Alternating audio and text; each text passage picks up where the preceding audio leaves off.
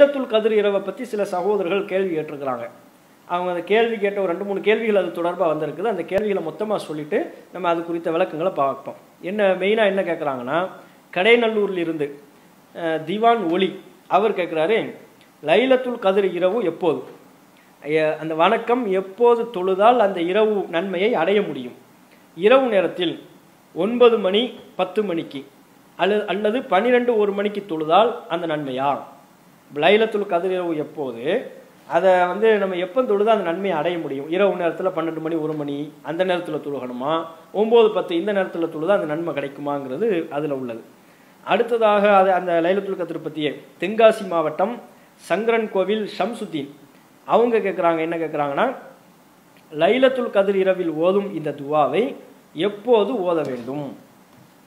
தொழுகை முடிந்ததும் ஓத வேண்டுமா? அல்லது சஜிதாவில் ஓத வேண்டுமா? அந்த துவாவை எப்போ ஓதணும்? அந்த துவாவையும் குறிப்பிட்டிருக்கிறாங்க. அந்த துவாவை எப்போ ஓதணும்? தொழுகை முடிஞ்ச உடனே ஓ- ஓதணுமா? அல்லது தொழுகையில் இருக்கும்போது சஜிதாவில் இருக்கிறோம்ல அந்த சஜிதாவிலே ஓதிக்கலாமாங்கிறது இவங்களுடைய கேள்வி. இன்னும் இது மாதிரி லைலத்துல் கதிர் இரவு சம்பந்தமாக சில சகோதரர்கள் கேள்வி எழுப்பியிருக்கிறாங்க. அதனால் இதுக்குரிய பதிலை நம்ம தெரிந்து கொள்வோம். முதலாவதாக இதில் நம்ம தெரிந்து கொள்ள வேண்டியது லைலத்துல் கதிர் இரவு என்பது அது எப்போது? இருபத்தி ஏழாவது நாள் இரவு தான் லைலத்துல் கதை இரவு அப்படிங்கிற நம்பிக்கை நம்ம சமுதாயத்தில் பெருமளவு இருக்குது இப்போ சுண்ணத்து ஜமாத்து பள்ளியாசல்னு சொல்லிக்கிட்டு அங்கே அதில் உள்ளவங்கள்லாம் லைலத்துல் கதிர்னு சொன்னால் அது இருபத்தி ஏழாம் நாள் அந்த இருபத்தி ஏழாவது இரவு தான் அப்படின்னு குறிப்பிட்ட ஒரு இரவு அவங்க தீர்மானித்து அந்த இரவில் மட்டும் விசேஷமாக வழிபாடு செய்கிறதும் மார்க்கம் சொன்ன வழிபாடுகளும் மார்க்கம் சொல்லாத பழி வழி வழிபாடுகளையும் செய்து கொண்டிருக்கிறார்கள். இப்படி ஒரு நாளை தீர்மானிக்கிறாங்கள்ல இந்த நாள் மட்டும்தான் இருபத்தி ஏழாம் நாள் தான் அப்படின்னு ஒரு நாளை தீர்மானிப்பதற்கு ஆதாரம் இருக்கான ஆதாரம் இல்லை. ஏன்? நபியல் நாயிம் அவர்கள் தெளிவாக நமக்கு சொல்லியிருக்கிறாங்க லைலத்துல் கதருடைய இரவு என்பது அது அல்லாஹுனால் நபியல் நாயிம் அவர்களுக்கு சொல்லப்பட்டது. எந்த இரவு என்பது? தன்னுடைய தூதர் நபியல் நாயிம் ஸல்லல்லாஹு அலிஸ்லாம் அவர்களுக்கு கற்றுக் கொடுக்கப்பட்டது அறிவிக்கப்பட்டது. ஆனால் அது மறக்கடிக்கப்பட்டுருச்சு இது தெளிவாக ஹதீஸுகளில் வருது. புகாரியில் எட்நூற்றி பதிமூணாவது செய்தி.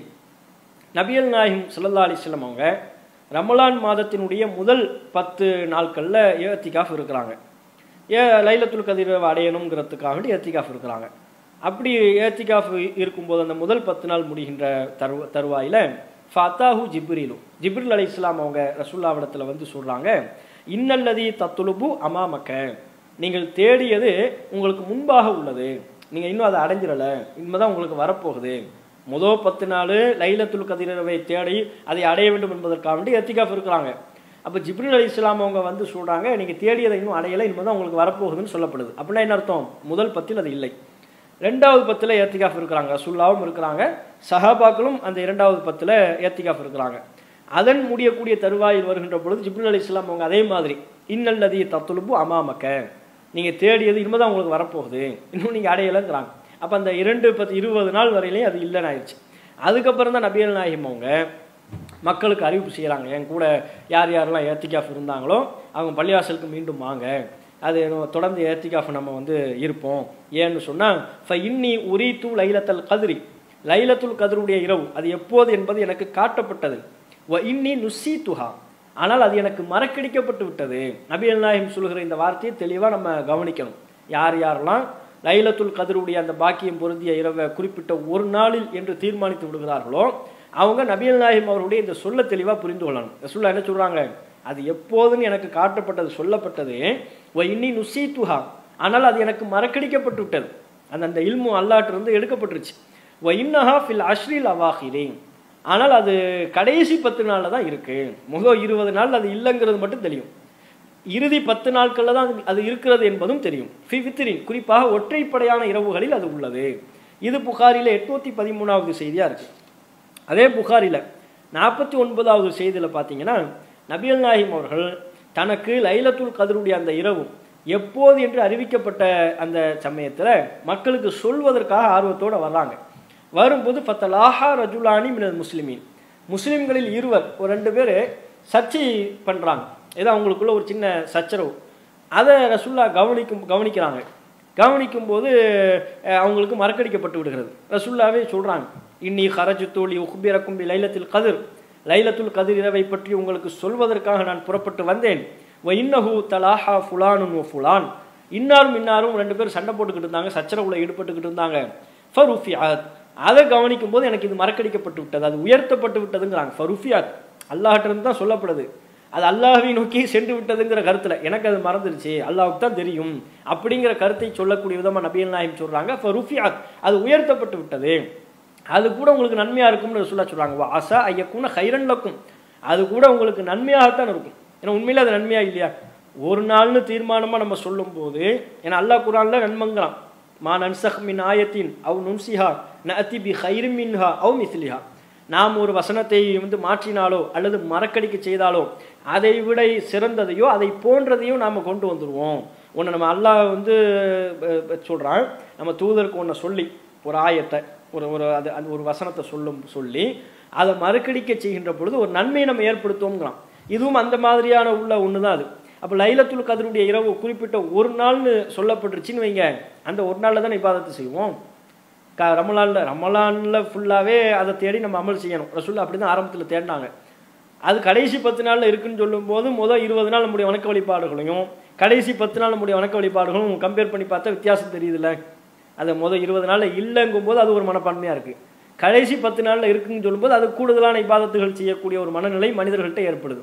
அதுலேயும் குறிப்பாக அதுக்கு ஒற்றைப்படை நாட்களில் தான் இருக்குன்னு சொன்னால் ரெட்டைப்படை நாளில் ஒரு அலட்சியம் வரத்தானே செய்யுது. மொத மொத்தமே பத்து நாள். அந்த பத்து நாளையுமே நம்ம மக் எப்படி கருதி கொள்கிறோம்? அது ஒற்றைப்படையில் தானே இருக்குது அப்போ ரெட்டப்படை பிரச்சனை இல்லை. இரட்டைப்படையான இரவுகளை நம்ம கொஞ்சம் கேர்லெஸ்ஸாக இருந்தாலும் இப்போ அது ஒரு பெரிய பாதிப்பு இல்லைங்கிற ஒரு எண்ணம் வரத்தானே செய்யுது. அப்போ எது என்று குறிப்பிட்டு சொல்லப்படாமல் இருப்பதில் நமக்கு நன்மை இருக்குது. ஒரு ஒரு நாளை தீர்மானிச்சுட்டு அந்த ஒரு நாள் நம்முடைய விவாதத்துகள்லாம் ம- அந்த ஒரு நாளில் சுருங்கிவிடும். பல நாட்கள் என்று இருக்கின்ற பொழுது அது அது மூடி மறைத்து வைக்கின்ற பொழுது அது நமக்கு ஒரு பெரிய ஒரு நன்மையாக அமையும். அதைத்தான் நபியல் நாயம் சொல்கிறாங்க வாசா ஐயக்கூன ஹைரம் இன்கும் அது உங்களுக்கு நன்மையாக இருக்கக்கூடும். எனவே இல்தமி சுஹா ஃபி சப்இ வ ஒல் ஹம்சி. அவற்றை இருபத்தி ஏழாம் நாள்லையும் இருபத்தி ஒன்பதாம் நாள்லையும் இருபத்தி ஐந்தாம் நாள்லையும் தேடுங்கள்.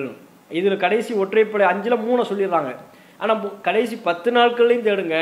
அந்த பத்து நாள் எல்லா ஒற்றைப்படை இரவுகளையும் தேடுங்க என்கிற கருத்தை புகாரில் ரெண்டாயிரத்தி பதினேழு முஸ்லீமில் ஆயிரத்தி தொள்ளாயிரத்தி தொண்ணூற்றி ஏழு ஆகிய இலக்கங்களை எல்லாம் பார்க்கலாம். அப்போ முதலாவதாக நம்ம தெரிந்து கொள்ள வேண்டியது லைலத்துல் கதிர் இரவு தொடர்பாக அது இருபத்தி ஏழாம் நாள் தான் அப்படின்னோம். அல்லது இந்த நாள் தான் இருபத்தி ஒன்று தான் இருபத்தி அஞ்சு தான் சொல்லி ஏதேனும் ஒரு நாளை நம்ம தீர்மானித்து சொல்கிறது தப்பு. அந்த ஒரு நாளை மட்டுப்படுத்துவது தப்பு. ஏன்? நபியல் நாயகம் அவர்கள் தனக்கே மறக்கடிக்கப்பட்டு விட்டது. ருஃபியாத் அது உயர்த்தப்பட்டு விட்டது. அல்லாஹ்ட்ட தான் அந்த அந்த ஞானம் இருக்கிறதுன்னு சொல் சொன்னதுக்கப்புறம் அது மறைக்க வைக்கப்பட்டதில் உங்களுக்கு நன்மை இருக்குன்னு ரசுல்லா சொன்னதுக்கப்புறம் இவ்வளவுக்கு பிறகும் இல்லை அது இருபத்தி ஏழு தான் சொல்கிறது சரியா? அது நபியல் நாயகம் அவர்களுடைய வழிமுறையை நம்ம பின்பற்றுவதாக ஆகுமா? அது அதுக்கு மாற்றமாக போயிடும் அதனால் ஒரு நாளில் தான் இருக்கிறது என்கிற அந்த நம் நம்முடைய நம்பிக்கை தவறான நம்பிக்கை நபியின் நபியல் நாயகம் காட்டி தந்த வழிமுறைக்கு மாற்றமான அந்த நம்பிக்கையை நம்ம மாற்றணும் அது க ரமலான் மாதத்தினுடைய கடைசி பத்து நாட்களில் உள்ளது. ஒற்றைப்படை இரவுகள் அனைத்து ஒற்றைப்படை இரவுகளையும் இருக்கிறது. இருபத்தி ஒன்றா இருக்கலாம் இருபத்தி இப்போ நம்ம இருக்கிறது இருபத்தி ஒன்றாம் நாள் இரவில் தான் நம்ம இருக்கிறோம். இருபத்தி ஒன்றாம் இருக்கலாம். இருபத்தி மூணு இருபத்தி ஐந்து இருபத்தி ஏழு இருபத்தி ஒம்பது. இந்த ஐந்து ஒற்றைப்படை இரவுகளில் ஏதேனும் ஒரு நாளாக இருக்கலாம் என்பதுதான் அதை நம்ம தெரிந்து கொள்ள வேண்டிய அது நமக்கு மறைக்கப்பட்டிருக்கிறது அப்படிங்கிறதுல நம்ம தெ- விஷயம். அதில் இந்த லைலத்துல் கதருடைய இரவு இந்த இரவில் நம்ம செய்ய வேண்டிய அமல்கள் குறித்து இது எவ்வளவு சிறப்பு வாய்ந்தது என்பது குறித்து சில தகவல்கள்லாம் நமக்கு சொல்லப்பட்டிருக்கிறது. இப்போ உதாரணமாக இந்த இரவை பற்றி குரான் சொல்லும்போது இன்னா அன்சல்நாஹு ஃபி லைலத்தில் கதிர். குரானை நாம் லைலத்துல் கதிருடைய இரவில் அருளினோம்.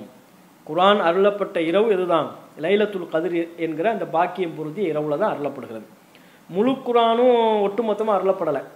ஏன்னா நமக்கு நல்லாவே தெரியும் குரான் என்பது சிறிது சிறிதாக அருளப்பட்ட இருபத்தி மூணு வருட காலமாக நபியல் நாயகம்க்கு அருளப்பட்ட ஒன்று அப்போ குரான் அருளப்பட்டதனுடைய துவக்கத்தை பற்றி அது பேசுறது நம்ம விளங்கிக்கலாம். நபி ரசூல்லாவுக்கு குரான் வசனம் துவக்கமாக அருளப்படுதில்ல இக்ரா பிஸ்மி ரப்பி கல்லதி ஹலக் அப்படிங்கிற வசனம் அருளப்படுதில்ல அந்த அந்த குரான் வசனங்கள் அருளப்படுவதனுடைய துவக்கம் லைலத்துல் கதருடைய இரவில் அதனுடைய துவக்கம் வந்து இருக்கும் என்பதை நம்ம புரிஞ்சுக்கலாம். அப்போ குரான் இந்த நம்ம லைலத்துல் கதருடைய இரவில் தான் அருளப்பட்டது. ஒமா அதுராக்க மா லைலத்துல் கதிர்? லைலத்துல் கதிர் அதனுடைய அந்த இரவு என்றால் என்ன? லைலத்துல் கதிரி ஹைரும் மின் அல்ஃபி ஷஹர் லைலத்துல் கதிருடைய இரவு என்பது அந்த பாக்கியம் பொருந்திய இரவு என்பது ஆயிரம் மாதங்களை விட சிறப்புக்குரியது. எவ்வளோ பெரிய ஒரு சிறப்பு? சாதாரண ஒரு சிறப்பு இல்லை. ஆயிரம் மாதங்கள் நின்று வணங்குவதும் ஒன்று தான் இந்த ஒரு இரவில் நின்று வணங்குவதும் ஒண்ணுதான். ஆயிரம் மாதங்களை நாம் ஒரு நன்மை செய்வதும் இந்த ஒரு இரவில் நமக்கு நன்மை செய்வதும் ஒன்றுன்னு சொல்லக்கூடிய அளவிற்கு ஆயிரம் மாதங்களுக்கு நிகரான நன்மையை பெற்றுத்தரக்கூடிய ஒன்று தான் இந்த லைலத்துல் கதிர் என்கிற பாக்கியம் பொருந்திய இரவு.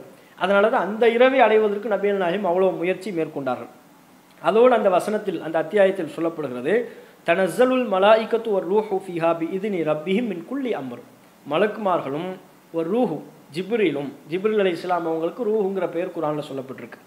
மலக்குமார்களும் ஜிப்ரில் அலி இஸ்லாம் அவர்களும் அந்த இரவில் தம்முடைய இறைவனின் உத்தரவோடு க அனுமதியோடு ஒவ்வொரு காரியத்தை கொண்டும் இறங்குகிறார்கள். அந்த இரவில் தான் மலக்குமார்கள்லாம் வர அனு அனுப்பி வைக்கப்படுறாங்க. பல கட்டளைகளை கொண்டு எல்லா மலக்குமார்களும் இறங்குகிறார்கள். ஜிப்ரில் அலி இஸ்லாம் அவர்களும் வருகிறார்கள். அப்படின்னா அந்த இரவுக்கு ஒரு பெரிய அளவு ஒரு முக்கியத்துவம் இருக்கிறது அப்படின்னு சொல்லப்படுது.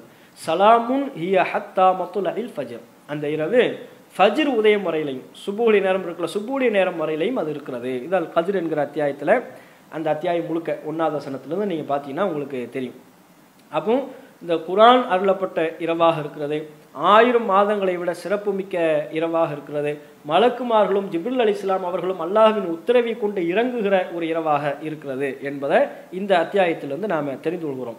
இந்த இரவில் நாம் செய்ய வேண்டிய வழிபாடாக நபியல் நாயிம் அவங்க இரவு தொழுகையில் ஈடுபடுறத சிறப்பித்து சொல்கிறாங்க மையக்கும் லைலத்தல் கதிரி ஈமானவ் வஹ்திசாபன். நம்பிக்கையோடும் நன்மை எதிர்பார்த்தும் யார் லைலத்துல் கதிருடைய இரவில் நின்று தொழுவாரோ வணக்க வழிபாட்டில் ஈடுபடுவாரோ குஃபிரலகு மாத்த கத்தம மின் தம்பிகி அவருடைய முந்தைய பாவங்கள் எல்லாம் மன்னிக்கப்பட்டு விடுகிறது. புகாரில் முப்பத்தி அஞ்சாவது இலக்கத்தில் பதிவான செய்தி. அப்போ லைலத்துல் கதருடைய அந்த இரவில் நம்ம செய்ய வேண்டிய வழிபாடாக நமக்கு சொல்வது தொழுகை. யக்கும் நின்று வணங்குவதுன்னா என்ன? கியாமுல்லைன்னு சொல்கிறோம்ல அந்த தொழுகைக்கு தொழுகையில் பெருமளவு நிற்கிறதுங்கிறதுனால அது ஒரு சிறப்புக்குரிய ஒரு வழிபாடாக இருக்கிறதுனால அந்த தொழுகைக்கு கியாம் எக்கும் அப்படிங்கிற அந்த வார்த்தைகள்லாம் பயன்படுத்தப்படுது. அப்போ நின்று வணங்குவதை மார்க்கம் நமக்கு வலியுறுத்தி சொல்லுது. அப்படி இந்த லைலத்துல் கதருடைய இரவில் நம்ம நின்று வணங்கும் போது நம்முடைய முந்தைய பாவங்கள்லாம் மன்னிக்கப்படுகிறது என்று நபியல் நாயம் சல்லா அலிஸ்லாம் அவங்க சொல்கிறாங்க அந்த வணக்க வழிபாடுகளில் தான் நம்ம ஈடுபடணும். இப்படி ரசூல்லா நமக்கு ஆர்வம் மூட்டிய நபியல் நாயிம் அவர்கள் நமக்கு கற்றுத்தருகிற வணக்க வழிபாட்டில் ஈடுபடணும். ரசூல்லாவும் ஈடுபட்டாங்க என்பத செய்தியை பார்க்குறோம். புகாரில் ரெண்டாயிரத்தி இருபத்தி நாலாவது இலக்கத்தில் பதிவான செய்தி இதா தஹலல் அஷ்ரு ரமலான் மாதத்தினுடைய இறுதி பத்து இறுதி பத்து நாட்கள் வந்துவிட்டால் ஷத்த மிசரஹு அல்லாஹுவின் தூதர் இல்லறத்திலிருந்து ஒதுங்கிக் கொள்வார்கள். மனைவிமார்கள்ட்ட கூடுறதுலேருந்து விலகி வ அஹ்யா அந்த இரவை உயிர்ப்பிப்பார்கள் வ ஐக்கல் அஹ்லஹு. தம்முடைய குடும்பத்தாரையும் எழுப்புவார்கள். இது புகாரில் ரெண்டாயிரத்தி இருபத்தி நாலாவது செய்தி. அப்போ நபியல் நாயிம் அவர்கள் நமக்கு வழிபாடு செய்யணும்னு சொல்லிட்டு தாம்பை படுத்துக்கலை ரசுல்லாவும் அந்த மாதிரி இரவு முழுக்க நின்று வணங்கி வழிபடுவது பல்வேறு வணக்க வழிபாடுகளில் ஈடுபடுவது இப்படி அந்த இரவை உயிர்ப்பிப்பாங்க. அதே மாதிரி குடும்பத்தாரையும் எழுப்பி நீங்கள் வழிபாடு செய்யுங்கன்னு குடும்பத்தாருக்கும் சொல்லுவாங்க. இப்படியான ரசுல்லா நமக்கு சொல்லி தந்த வணக்க வழிபாடுகளில் ஈடுபடணும். இரவு தொழுகையில் ஈடுபடுறது குரான் ஓதுறது குரானுடைய விளக்கங்களை படிக்கிறது விக்கிர்கள் தஸ்பீகள் பிரார்த்தனைகள் இது எல்லாமே நம்ம இந்த இரவில் செய்யக்கூடிய வழிபாடுகள் தான். சில நம்ம முஸ்லீம்களில் சில பேர் என்ன செய்கிறாங்கன்னா வரம் மீறி போகக்கூடிய அளவில் மார்க்கம் சொல்லாத வணக்க வழிபாட்டையெல்லாம் இந்த லைல இருபத்தி ஏழாம் நாள் இரவு பார்த்தீங்கன்னு வைங்க தஸ்பீ தொழுகைங்கிற பேரில் தொழுவாங்க. இப்படி நீண்ட நேரம் நிற்க வேண்டும் என்று மார்க்கம் சொல்லியிருக்கிறதுனால அதை தவறாக விலகி கொண்டு ரசுல்லா கற்றுத்தராத இவர்களாக ஒரு தொழுகையினுடைய ஒரு வடிவத்தை ஒன்று உருவாக்கி தஸ்பி தொழுகைன்னு அதுக்கு பேரை வச்சு அந்த அந்த பேரில் அவங்க செய்யக்கூடிய செய்திகளை எல்லாம் நம்ம பார்க்குறோம். அதுக்கெல்லாம் மார்க்கத்தில் இடம் இல்லை அதெல்லாம் பொய்யான பலவீனமான செய்திகள் ரசுல்லா பேரில் இருக்குன்னா அதை வச்சு நம்ம அமல் செய்யலாமா?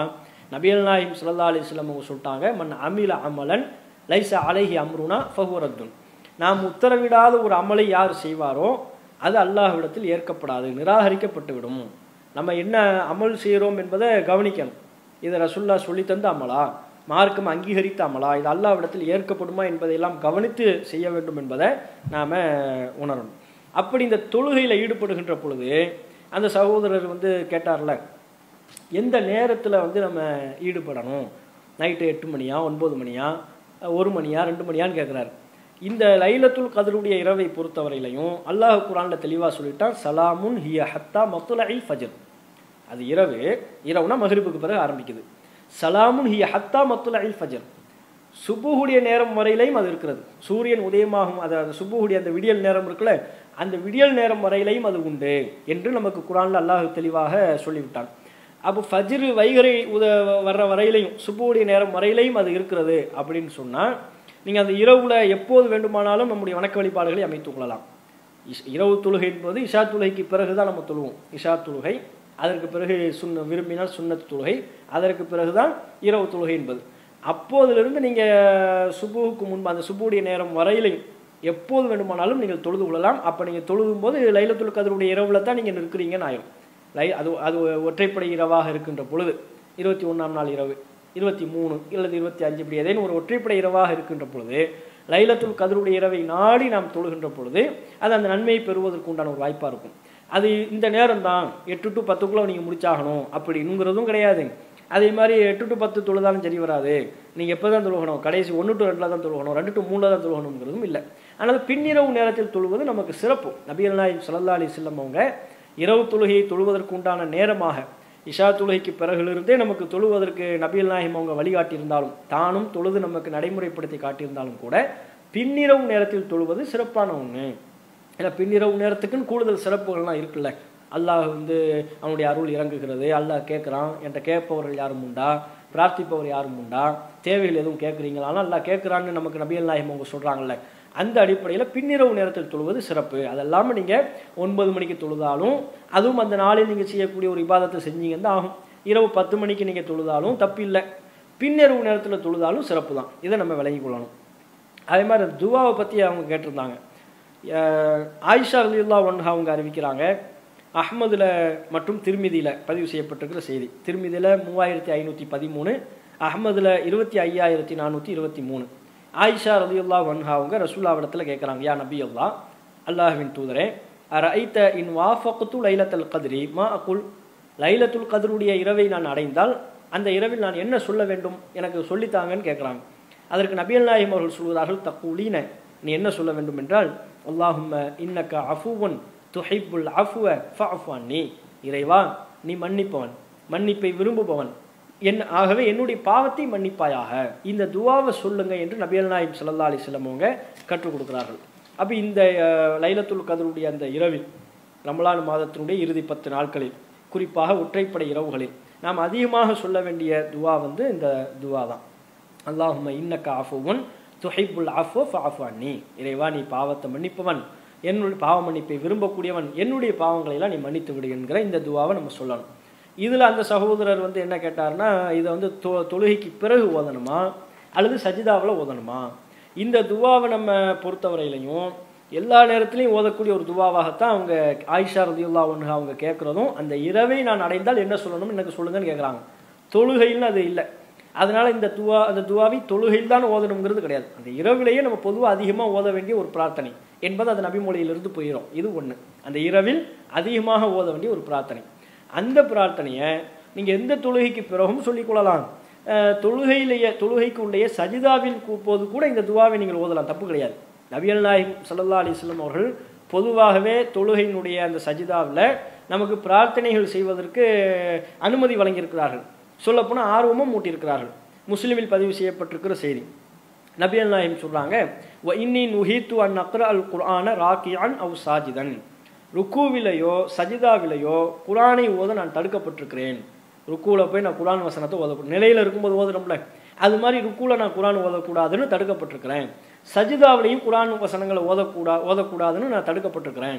நீங்கள் துவாவாக ஓதுனீங்க. குரான் வசனத்திலே நிறைய பிரார்த்தனைகள் இருக்குல்ல. ரப்பனா அத்தினா ஃபித்துனியா ஹசனத்தும் வஃபில் ஆஹிரத்தி ஹசனத்தும் வக்கீனா அதாபுன்னார். இது ஒரு துவா தான். அதே வேளை இது குரான் வசனத்திலே இருக்குது துவாங்கிற கணக்கில் எந்தெந்த குரான் வசனங்கள் இருக்கிறதோ அவற்றை துவாவுடைய அர்த்தத்தில் ஓதும்போது அது தப்பு கிடையாது. அது தொழு நிலையில் இருக்கும்போது எப்படி குரான் வசனங்களை ஓதுறோமோ அது மாதிரி எதில் ஓதக்கூடாதுன்னு தடுக்கப்பட்டிருக்குதான். ருக்குவிலையும் சஜிதாவிலையும் குரான் வசனங்களை ஓதக்கூடாதுன்னு நான் தடுக்கப்பட்டிருக்கிறேன். ஃபம்மர் ருக்கு ஃபஅலிமு ஃபீஹி ரப்ப அஸ்ஸவஜல்ல ருக்குவை பொறுத்தவரை அதில் அல்லாஹு ரப்புல் ஆலமீன் அவனை நீங்கள் வந்து புகழுங்கள். அம்ம சுஜூது சஜிதாவை பொறுத்தவரை ஃபஜி தஹிது ஃபித் பிரார்த்தனையில் நீங்கள் ஈடுபடுங்கள். அதிகமாக நீங்கள் துவா செய்யுங்கன்னாங்க. தொழுகையில் உள்ள அந்த சஜிதாவில் அதிகமாக நீங்கள் துவா செய்யுங்க. ஃப கமீனுன் ஐயுஸ்தஜாப் அலக்கும் உங்களுக்கு பதிலளிக்கப்படுவது அது பதிலளிக்கப்படுவதற்கு ஏற்றது.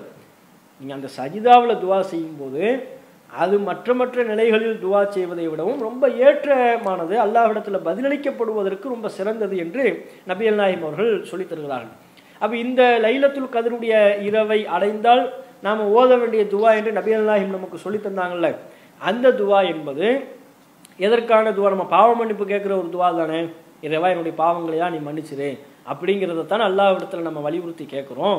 அதனால் அதை நம்ம சஜிதாவிலையும் நம்ம கேட்கின்ற பொழுது இன்னும் இறைவனால் பதிலளிக்கப்படுவதற்கு ஏற்றதுன்னு சொல்ல சொல்லிட்டாங்கல்ல. அதனால் அந்த துவாவை இரவு நேரங்களில் சாதாரண நேரங்கள்லையும் இப்போ கூட நீங்கள் சொல்லிக்கிட்டு இருக்கலாம். அல்லாஹ் இன்னக்கா ஃபோன் தொஹிபுல் அஃபோ ஃபாஃபானின்னு இதை அல்லாஹ் இஸ் இஸ்திஃபார் கேட்குறது தான் அல்லா இடத்துல பாவமணி போய்க்கிறோம் அஸ்தகுல்லாஹ் தூப்பி இலைன்னு கேட்குறோம்ல. அது மாதிரியான ஒரு இஸ்திகஃபார் தான் இது. அதனால் இதை தாராளமாக இப்போதும் நீங்கள் கேட்கலாம். தொழுகை முடிந்ததற்கு பிறகு என்னென்ன ஓதணும்னு ரசூலா சொன்னாங்களோ அவைகளை ஓதியதற்கு பிறகும் நீங்கள் கேட்கலாம். நீங்களாக விரும்பி தொழக்கூடிய தொழுகைகளுக்கு பிறகு சாதாரணமாகவும் இதை ஓதி நீங்கள் கேட்கலாம். தொழுகையில் சஜிதாவிலையும் இதை நீங்கள் கேட்க இயலும். கடமையான தொழுகையிலையும் சஜிதாவில் இதை நீங்கள் கேட்கலாம்.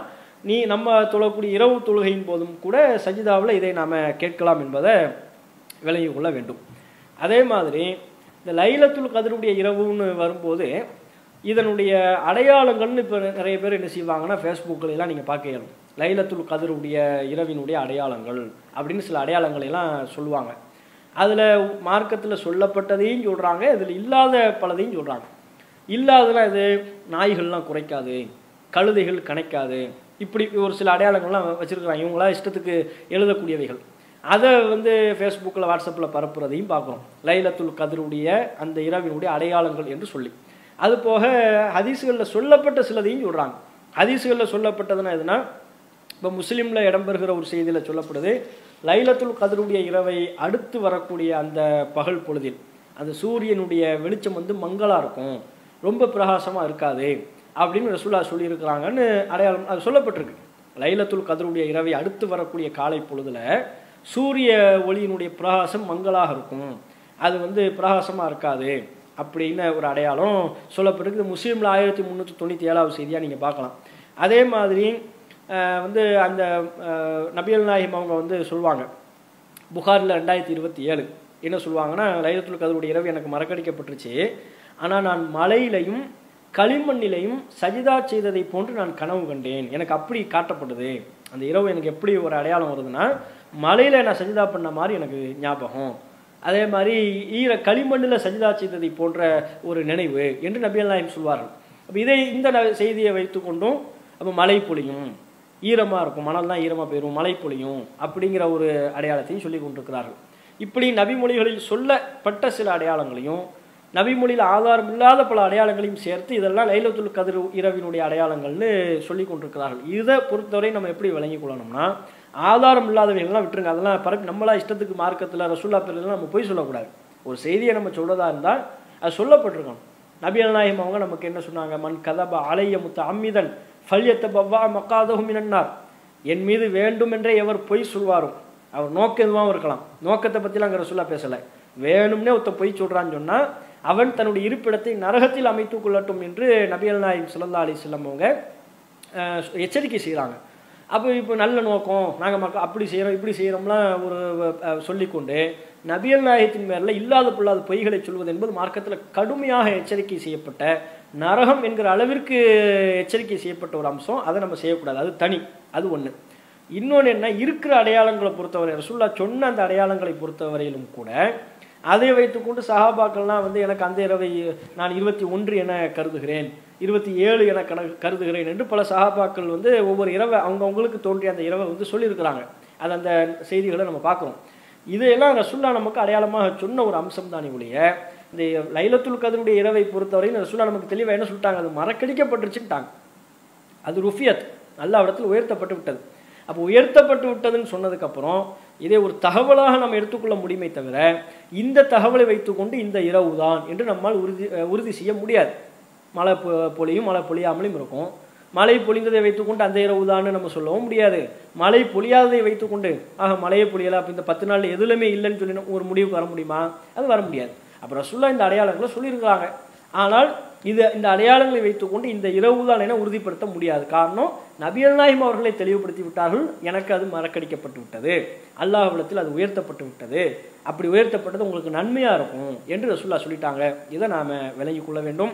இப்படி மார்க்கத்தினுடைய சரியான தகவல்களை அறிந்து அதன்படி செயல்படுகிற நன்மக்களாக அல்லாஹு ரப்புல் ஆலமீன் நம்ம அனைவரையும் ஆக்கி அருள் புரிவானா என்று கேட்டு இந்த கேள்வி பதில் நிகழ்ச்சியினை நிறைவு செய்து கொள்வோம்.